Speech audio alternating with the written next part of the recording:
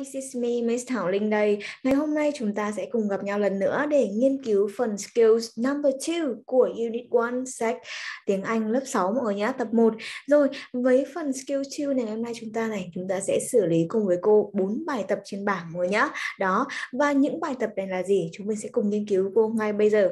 Number one, Janet, a student at Palmer School in America, is talking about her school. Guess the answers to these. À, ok, có thể là these questions đúng không nào? Rồi, ok. Đây là đề bài này. Và đề bài này nói về ai đấy mọi người ơi? Chính xác rồi, nó nói bạn Janet đúng không nào? Rồi, và bạn ấy là học sinh của trường nào đấy? Exactly, chính là trường Palmer School in America đúng không nào? Trường Palmer ở nước Mỹ. À, ok, rồi và cô gái này thì đang nói về trường của cô ấy và chúng mình sẽ cùng nhau trả lời có thể là một vài câu hỏi đó mọi người nhé. Đó, Vậy đây chính là yêu cầu thứ nhất của bài đầu tiên chúng ta. Yêu cầu thứ hai, bài số 2 chúng ta có đó chính là listen again and choose the correct answer A or B. Nhiệm vụ này chúng mình làm gì đầu tiên nào? Chính xác rồi, chúng mình sẽ nghe này, sau đó chọn ra đáp án chính xác A hoặc là B các bạn nhé. Rồi, bài số 3 nào. Write the answers to the following questions about your school. Ok, chúng mình sẽ viết một vài câu trả lời cho cho một vài câu hỏi và sau đó là chúng mình sẽ uh, nhớ nhé những câu hỏi này là đa số là về cái uh, cuộc trường của chúng ta nên mọi người nhớ nhé tập trung chú ý và hãy nhanh chóng nghĩ về ngôi trường của mình khi làm bài tập này. Bài số 4, use the answers in three to write a paragraph, paragraph of uh, 40 to 50 words about your school. Uh, rồi ở trong bài số 3, bài số 4 này, nhiệm vụ chúng ta là chúng mình sẽ uh, nương theo bài số 3 nhé, sử dụng những câu hỏi của bài số 3 để chúng ta hình thành ra một, một đoạn văn được chưa nào? Khoảng 40 đến 50 từ để nói về trường học của em. Rồi sau đó là chúng mình sẽ uh, gì nhỉ? uh, sử dụng một vài cái tài liệu tham khảo nữa bài số 4 uh, chúng mình sẽ xử lý sau nhá rồi thì bây giờ cô trò mình sẽ cùng nhau vào bài số 1 Janet À, ok rồi chúng mình sẽ vào bài số 1 với cô nha rồi bài số 1 của chúng ta này Janet uh, a school a student at Palmer School in America is talking about her school. Get the answers to these questions. Rồi ok, chúng mình sẽ nghe, sau đó là chúng mình sẽ điền đáp án đây cho cô nhá. Rồi bây giờ chúng mình chuẩn bị nghe này. Three, two, and one. Listen. Unit 1. My New School. Page 13. Skills 2. Listening. Activity 1. Janet, a student at Palmer School in America, Rồi, ok, đang nói luận Palmer đúng không? Nhưng chúng mình nhớ nhá, bài tập này này chúng mình chưa vội nghe đâu. Vì sao chúng mình nên đọc trước cho cô những câu hỏi này và đoán câu trả lời đã, được không nhỉ? Sau đó chúng mình mới nghe và check lại xem nhá. Ok, rồi. Và câu hỏi đầu tiên đặt ra đây có chúng ta có đó chính là Do you think the students there wear uniforms? Ok, rồi theo em thì uh, những học sinh ở đó họ có mặc đồng phục mọi người nhỉ? Yes or no? Em nghĩ thế không? Yes, ok. Cô nghĩ rằng câu trả lời sẽ là có đúng không nào? À, cô nghĩ là học sinh nào chẳng có đồng phục đúng không? Chúng mình đoán thôi mà nhá. Sai thì thôi không sao cả. Đây là dựa vào suy đoán của chúng ta thôi. Ok, rồi. Chúng mình sẽ cùng đi yes vào đây đi nhá. Yes, do you think the students there wear uniform? Yes. Ok, maybe chúng mình yes I do. Ok nhá. Rồi, tiếp theo, do they learn Vietnamese as a foreign languages? Ok, language. Rồi, họ có học tiếng Việt giống như là một ngôn ngữ nước ngoài không? Ờ, ok, thưa các bạn thì uh, ở Palmer School này, ở nước Mỹ này thì họ có học tiếng Việt không mọi người nhỉ? Yes or no? Hmm, ok, rồi. Bây giờ chúng mình sẽ thử đoán nhé. Có hay không nào mọi người ơi? Ok, cô đoán đi, chúng mình chỉ đoán thôi mà, sai thôi đúng không nào, có sao đâu, đúng không? Chúng mình chỉ đoán là yes đi, yes, yes I do. Ok, tại sao không đúng không nào? Yes, cứ đoán thôi. Rồi thì bây giờ chúng mình sẽ nghe một lần nữa cái video này, cái audio này nhá, để xem xem bạn ấy có thực sự học tiếng Việt không mọi người nhá. Rồi chúng mình cùng bắt đầu nào mọi người ơi. Is talking about her school. Guess the answers to these questions. Listen to the talk and check your guesses. Hi, my name's Janet. I'm 11 years old. I'm now in year 6 at Palmer School. I like it here. My classmates are friendly. The teachers at my school are nice and very helpful. And my favourite teacher is Mrs. Smith. She teaches us maths. I have two hours to study Vietnamese every week. I usually do my homework in the library. We wear our uniforms every day, but today we aren't. We're going to have a biology lesson on a farm. Ok, vậy câu trả lời của chúng ta đúng hay là sai đây mọi người ơi? Đúng hay sai nhỉ mọi người nhỉ? Ok, rồi. Chúng mình sẽ cùng nhau nhá. Xem xem này. Và gì nhở? Chúng mình sẽ cùng nhau xem xem là chúng ta phải đúng hay sai. Bằng cách đó chính là bây giờ chúng mình sẽ cùng nhau nhìn vào cái nội dung của bài nói này nhá. Vì có thể rằng là vừa xong ấy khi người ta nói có thể một vài đoạn hơi nhanh một chút. Chúng mình chưa kịp nghe ấy. đó. Thì bây giờ chúng mình sẽ cùng nhau check lại với bài nói của họ nhá. Nội dung nói của họ này. Chúng mình cùng nhìn bài cô nha. Ok và trên bảng của cô hiện tại đây chính là cái script tức là đoạn hội thoại à, nhầm đoạn văn mà bạn ấy vừa nói xong của chúng ta nhé đó và cô đã viết những cái nội dung ở trên bảng rồi. Chúng mình cùng xem câu cô này. Hi my name's Janet. Ok, xin chào, tên tôi là Janet. Um, I'm 11 years old. Tôi 11 tuổi đúng không nào? I'm now in year 6 at Palmer School. Rồi, tôi ở lớp 6 ở trường Palmer School này. I like it here.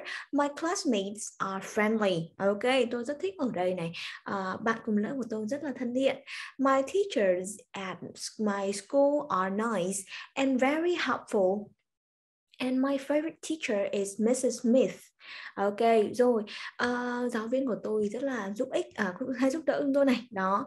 Và một giáo viên yêu thích của tôi đó chính là uh, cô cô Smith và she teaches us math. Ok, cô dạy toán cho tôi chúng tôi này. I have two hours to study Vietnamese every weekend. Ok.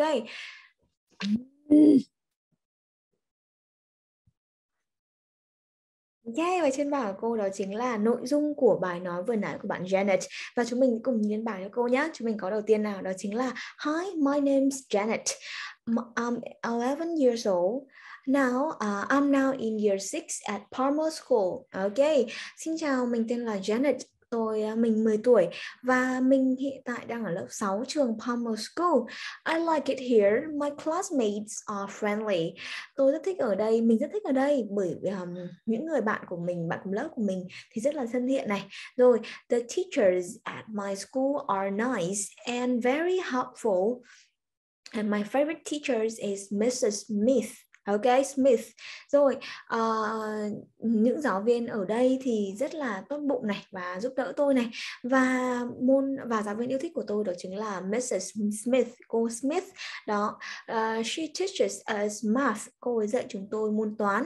I have two hours to study Vietnamese every week. Ok, chúng tôi có hai tiếng học tiếng Việt uh, mỗi tuần này. À, I usually do my homework in the library. Tôi thường xuyên làm bài tập về nhà của mình này uh, và ở trong thư viện. Ở trong thư viện này, we wear our uniforms every day, but today we aren't. Uh, chúng tôi mặc đồng phục mỗi ngày nhưng ngày hôm nay thì không. We are going to have biology lessons on the farm. Chúng tôi uh, chuẩn bị có một lớp học sinh ở trên nông trại. Wow, ok, bài nói rất là hay đúng không nào? Thì bây giờ chúng mình sẽ cùng nhau phân tích một vài từ vựng ở trong bài nói này nhé. Đó, đầu tiên mình sẽ có đó chính là từ classmates. Ok, classmates là cái gì mọi người ơi? Là ai mọi người nhỉ? Yes, exactly, very good. Đó chính là bạn cùng lớp của chúng ta nhé. Rồi, tiếp theo này, chúng mình sẽ có một vài tính từ, à, có một tính từ miêu tả người bạn này. Đó chính là gì nhỉ? Friendly. Ok, very good. Đó chính là thân thiện, đúng không nào? Ok, very good. Tiếp theo, chúng mình có một vài tính từ miêu tả. Teachers, đó chính là nice, tốt bụng. Helpful là giúp đỡ này, đúng không nào? Rồi, ok. Tiếp theo, từ my favorite teacher is Mrs Smith. She teaches us math. Ok, môn môn math là môn gì mọi người? Môn toán, chính xác rồi. Ok, rồi. I have two hours to study Vietnamese every weekend. Tôi có hai tiếng để học môn gì mọi người nhỉ? Yes, okay, exactly. Môn tiếng Việt mỗi tuần đúng không nào? Rồi. I usually do my homework in the library. We wear uniforms every day. Uniform làm cái gì mọi người ơi? Chúng mình vừa trả lời câu hỏi với nó đúng không nào? Đó chính là đồng phục. Ok, rất tuyệt vời mọi người ạ. Rồi, thì bây giờ chúng mình sẽ uh, chuyển sang nhé. Uh, ờ, we wear uniform every day, but today we aren't. We are going to have a biology lesson on the farm. Biology là môn gì mọi người? Ok, môn sinh học tuyệt vời luôn mọi người nhá. Tiếp theo chúng mình sẽ có đó chính là the farm. Ok, farm là nông trại nhá. Đó thì chúng mình sẽ à, gì nhỉ? cùng nhau nghiên cứu về từ vựng đó ngay bây giờ cùng với cô nhé. Cô sẽ có bảng từ vựng như sau này. Ok, và trên bảng của cô chính là một list những từ vựng mà cô muốn trích từ đoạn nói của bạn Janet cho chúng ta này. Ok, từ đầu tiên mình có từ language. Ok, language là một ngôn ngữ mọi nhá. Đó, everyone, language. Language. Very good. Language. Tiếp theo một từ đi với language đó là foreign. Ok, foreign. Rồi, foreign đây nghĩa là ngoại quốc mọi nhá. Everyone, foreign. Foreign. Very good rồi. Foreign language ở đây có nghĩa là tiếng nước ngoài nhớ. Everyone đọc vào cụm cô nào. Foreign language. Foreign language. Very good. Rồi, tiếp theo mình sẽ có từ remember. Okay, everyone, remember. Remember. Yes, amazing. Tiếp theo là mình sẽ có từ hoạt động nhé. Activities. Activity. Activity. Very good là hoạt động. Rồi, tiếp theo bể bơi mình sẽ có swimming pool. Swimming pool. Swimming pool. Amazing. Rồi, tiếp theo trồng hoa là mình có từ planting flower. Planting flowers. Planting flowers. Yes, trồng hoa nhá. Rồi, wear uniform đúng không nào? Mình sẽ có từ wear. Wear wear. Very good. Rồi, tiếp theo có từ helpful. Ok, helpful nghĩa là hay giúp đỡ nhé. Everyone, helpful. Helpful. Helpful. Yes, ok, hay giúp đỡ. Đó là những chính từ những từ mà chúng ta vừa được nghe xong này. Rồi, ok, thì bây giờ chúng mình sẽ nghe một lần nữa nhé và nhìn script của cô nhé. Ok, chúng mình sẽ nhìn script này, sau đó nghe một lần nữa check lại cho cô nhé. Activity 1. Janet, a student at Palmer School in America, is talking about her school. Guess the answers to these questions. Listen to the talk and check your guesses. Hi, my name's Janet. I'm 11 years old. I'm now in year 6 at Palmer School. I like it here. My classmates are friendly the teachers at my school are nice and very helpful, and my favourite teacher is Mrs. Smith. She teaches us maths. I have two hours to study Vietnamese every week. I usually do my homework in the library. We wear our uniforms every day, but today we aren't. We're going to have a biology lesson on a farm. Ok. Rồi, thank you everyone. Và đây nhá, chúng mình đã nghe xong rồi đấy. Rồi thì bây giờ chúng mình sẽ chuyển lại, chúng mình sẽ có những slide như sau. Mình đã giải quyết xong bài 1 vô cùng nhanh luôn đúng không nào? Thì bây giờ chúng mình sẽ chuyển sang bài số 2 mọi người nhé. Đó bài số 2 là nhiệm vụ chúng ta đó chính là chọn đáp án A hoặc B đó để đi vào chỗ trống này. Rồi, trước khi làm bài này chúng mình cần phải nghe thêm một lần nữa. Rồi, nghe thử cô nhá. Nhìn chuyển đáp án mọi người ạ. Thì bây giờ chúng mình sẽ nghe lại nhé mọi người ơi. Bây giờ chúng mình sẽ nghe lại một lần này. À, bài bài nữa này. Sau chúng mình sẽ làm cho cô nha. Ok. Unit 1. My New School. Page 13. Skills 2. Listening. Activity 2. Listen again and choose the correct answer A or B. Hi, my name's Janet. I'm 11 years old. I'm now in year 6 at Palmer School. I like it here. My classmates are friendly. The teachers at my school are nice and very helpful. And my favourite teacher is Mrs. Smith. She teaches us maths. I have two hours to study Vietnamese every week. I usually do my homework in the library. We wear our uniforms every day, but today we aren't. We're going to have a biology lesson on a farm. Đọc với cô ở nhé. Trên bảng cô nào, Janet's favorite teacher is her teacher. Now, science teacher or math teacher? Yes, okay. A or B now? Five, four, three, two, and one. Chính xác rồi. Đáp án của cô đó chính là A. Ok, tiếp theo nhá. Today, Janet her uniform. Rồi, today Janet is wearing uniform or isn't wearing her uniform. Yes or no? Five, four, three, two, and one. Ok, đáp án chúng ta có là chính là isn't wearing đúng không nào? Rồi, tức là bình thường bạn phải mặc nhưng ngày hôm nay thì không nhá. Đó. Janet studies uh, for two hours a week. Học cái gì hai tiếng nữa nhỉ? English or Vietnamese? Yes, ok, không phải nghĩ ngợi nhiều đúng không nào? Đó chính là Vietnamese. Rồi, tiếp theo. Janet usually does her homework. Rồi, in the library or at home. Ở trong thư viện hay là ở nhà mọi người nhỉ? Ok, chính xác luôn. Chúng mình có đó chính là in the library. Ok, rồi. Her class is going to have biology lesson in the classroom or on the farm. Yes, ok, chúng mình có đó chính là on the farm. Cùng chết là cô nhé. Yes, ok, 100% đúng rồi. Lớp mình quá tuyệt vời luôn mọi người nhá. Rồi, thì bây giờ cô cho mình sẽ chuyển sang phần thứ ba. Bài tập số 3 rồi, rất là nhanh chóng đúng không? Bài tập số 3 này thì chúng ta sẽ xử lý gì đây? Ok, write the answers to the following questions about your school. Ok, chúng mình sẽ viết những câu trả lời nhá. Đó, uh, về trường của các em. À, ok chưa? Nhớ không phải trường của Janet nữa mà chúng mình sẽ uh, hỏi và trả lời về trường của chúng mình cơ. Ok bây giờ chúng mình sẽ cùng nhau đọc một vài cái câu hỏi như sau nhé đầu tiên what is the name of your school? Ok trường học của bạn tên là gì? Ok rồi tiếp theo nào. Trường của em tên là gì mọi người? Yeah, ok rồi. Ở trong này là một vài những cái gọi là uh, gì nhỉ? gợi ý của cô cho các bạn nhé. Đó. Tiếp theo là mình sẽ có đó chính là where is your school? Ok, Mailing Town. Rồi, trường của em ở Mailing Town chẳng hạn nhé. Tiếp theo này, uh, how many classes does your school have? There are 60. Ok, 16.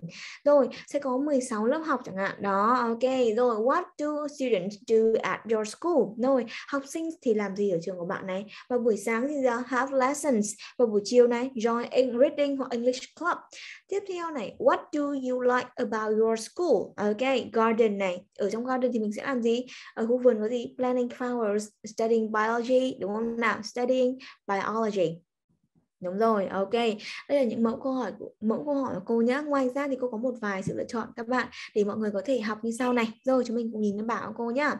Ok, ở trên bảng của cô này đó chính là slide của cô slide của cô ngày hôm nay đây chúng mình nhìn thấy chưa nhỉ đó thì ở phần viết này cô có một vài gợi ý cho mọi người như sau. Đầu tiên what is the name of your school này? Thì mọi người có thể điền vào mẫu câu như sau. Uh, my school's name is ok my school's name is tên trường của tôi là nhá. My school name is đồng nhân ok auto Hoàng Secondary School. Ok rồi cô sẽ tạm thời điền đây này mọi người sẽ nhìn vào cô nhá. Đây ok nhìn này rồi cô sẽ điền đây là Tô Hoàng ok rồi Tô Hoàng yes ok my school's name is Tô Hoàng rồi tiếp theo where is your school ok rồi my school is Yes, ok. My school is trường tôi ở ở đâu đó thì cô sẽ điền đây này. Ok. Trường của cô thì ở Hà Nội. Cô sinh ra lớn lên Hà Nội này. Cô có những năm học cấp 1, cấp 2, cấp 3 đều ở Hà Nội hết và đại học cũng thế. Thì bây giờ cô sẽ điền đây này. My school is in nhá. Cô sẽ điền là in ok? In Hà Nội này. Rồi ok. In Hà Nội giống như cái trường lần trước mình học ấy. Đó mình có in này của thành phố đúng không nào. In Hà Nội. Tiếp theo how many classes does your school have? Ok, trường của bạn thì có bao nhiêu lớp học nhá. Ok, rồi ở đây cô có là my school has. Rồi, ok, trường của tôi có bao nhiêu đây nhá? Đối với trường học của cô ấy thì mỗi khối cô sẽ có 8 lớp đúng không nào và với cấp 2 của cô thì cô đang có là 4 4 4 khối đúng không nào vậy thì 8 nhân 4 bao nhiêu Yes, ok, với 8 x 4 thì cô có đó chính đáp án là 32 lớp học nhá. Cô sẽ ghi đây là Ok, cô đã nhầm rồi. Cô sẽ viết đây mọi người nha. Ok, had 32 classes. Ok, quả một ngôi trường khá lớn đúng không? Yes, ok. My school has 32 classes. Rồi, tiếp theo nào mình sẽ có là what do students do at your school? Ok, uh, những học sinh của uh, học sinh ở trường bạn thì làm gì nhá? Rồi, ok, ở đây cô sẽ có đáp án đây là um, students at school. Ok, student study at school cũng được mà nhá. Mình cho từ study này. Ok, study này. À, chúng mình sẽ có study at school. Ok, rồi study at school này hoặc là gì nhỉ? Uh, play in the schoolyard. Yes, play in the schoolyard. Ok, Rồi. Ok, play in the schoolyard. Yes, ok và còn vô số hành những cái hành động khác đúng không nào? Hoạt động khác nữa chúng mình có thể điền hết vào đây mọi người nhé. Đó chỗ trống này mọi người nhớ cô chúng mình sẽ điền tên hoạt động của cô vào.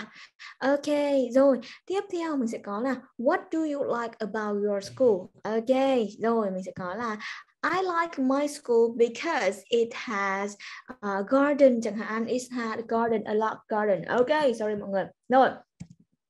Uh, I like my school because it has a lot, a, a lot, a large garden. Okay, it has a large, uh, okay, a large garden. Okay, garden to plant flower. Okay, to plant flower. Rồi nó có một cái khu vườn rất là lớn để trồng cây trồng hoa này. Đó đây là những lý do mà vì sao cô yêu ngôi trường cấp 2 của cô mọi người ạ. Rồi đầu tiên là câu hỏi đó chính là what is the name of your school? My school name is Đô Hoàng này. My school is in Hà Nội này. Uh, how many classes does your school have? My school has 32 classes. Tiếp theo what do students do at your school? Rồi my uh, students study play uh, play in the schoolyard at school. Okay. Rồi, what do you like about your school? I like my school because it has a large garden to plant flowers. okay rồi, tôi rất yêu trường của tôi, rất thích trường của tôi bởi vì nó có một ngôi một cái khu vườn rất là lớn để trồng hoa. Đó, ok. Đó là lý do cũng như là những thông tin về trường học của cô. Thế còn các bạn thì sao nào? Cho cô những thông tin các bạn nhé của trường học của mình nữa. Tự hãy hỏi và trả lời câu hỏi của cô. Ok, rất vô cùng đơn giản thôi. Chúng mình nhanh chóng ghi những mẫu câu trả lời này vào vở cho cô mọi người nhé. Come on guys, rồi chúng mình sẽ có khoảng tầm là 5 giây được chưa nào? Nếu bạn nào không kịp ghi thì hãy pause video lại này sau đó ghi ở vở cho cô nhé. 5 4 3 2 and 1. Ok, time's up. Ok, rồi bây giờ chúng mình đã đi đến bài cuối cùng của ngày hôm nay rồi đó chính là bài số 4 use the answers in 3 to write a paragraph 40 to 50 words about your school.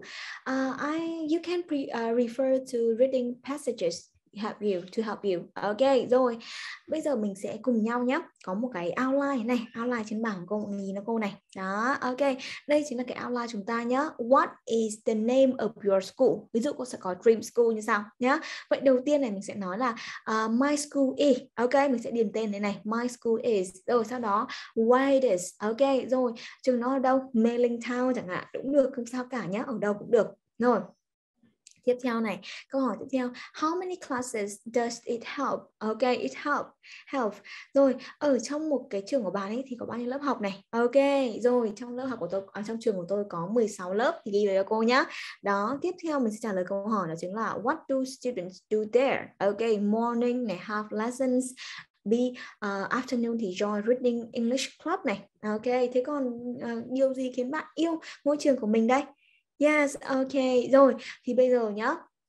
Cô trò mình sẽ cùng work on với nhau để có thể viết ra một đoạn văn ở trên bảng này. Ok, đầu tiên nào, dựa vào ngôi trường Tô Hoàng của cô đi nhá. Rồi, my school is, mình điền gì nhỉ? Chính xác rồi, chúng mình sẽ có là Tô Hoàng. Ok, rồi, Tô Hoàng này. Rồi, qua ngôi trường cô nằm ở đâu mọi người ơi? Ngôi trường cô nằm ở đâu nào? Yes, okay. My name, my school name is Tô Hoàng. Okay, rồi. Chấm này. Okay, it là nhỉ? Nó sẽ nó là một trường cấp 2 nhá. Is uh, is a secondary nhá, secondary school in Hà Nội. Ok, rồi it is a secondary school in Hà Nội. Nó là một ngôi trường cấp 2 ở Hà Nội này. Tiếp theo này mình có câu hỏi trả lời câu hỏi tiếp theo là gì đây?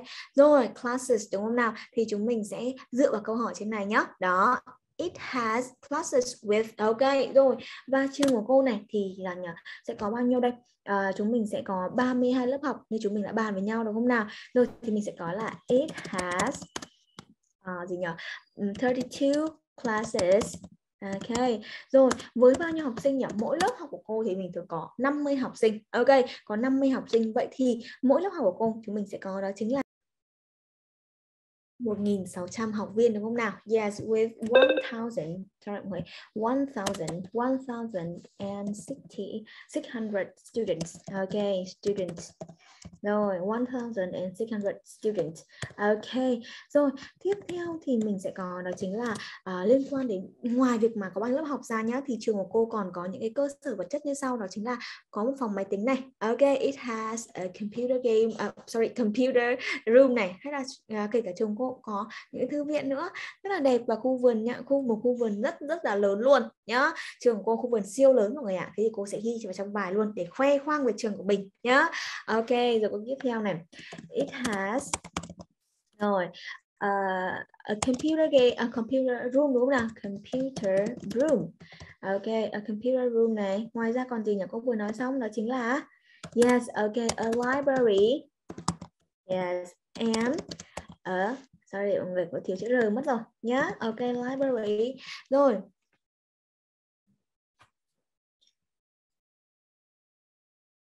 Ok rồi. Ok.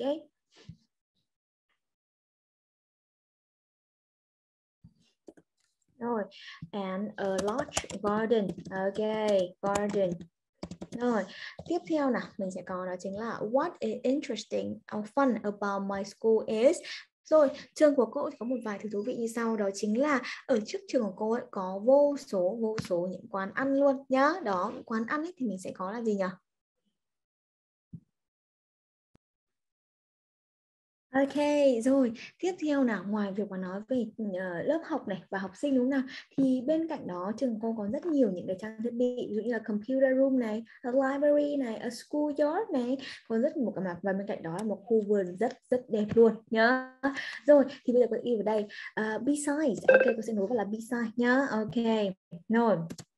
Beside Ok, ở đây là đang có hơi bị tan bộ tiếng Việt một tí này. Besides, ok, my uh, my school has a computer room and Ok, vậy a library, a library. Với full a book mọi người ạ, rất là nhiều sách luôn. Library, ok.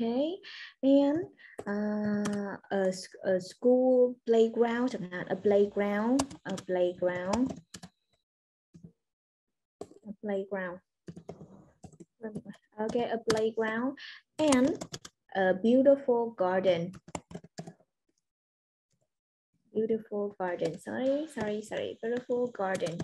Ok rồi. Tiếp theo ấy thì chúng mình sẽ nói một vài cái nữa liên quan đến những cái điều mà thú vị về trường của mình đi. What is interesting or fun about my school is? Ok có sẽ ghi vào đây. What? What is ok đang bị chưa viết hoa mất rồi. Mình sẽ quay lại sửa nhé what is uh, interesting uh, about my school?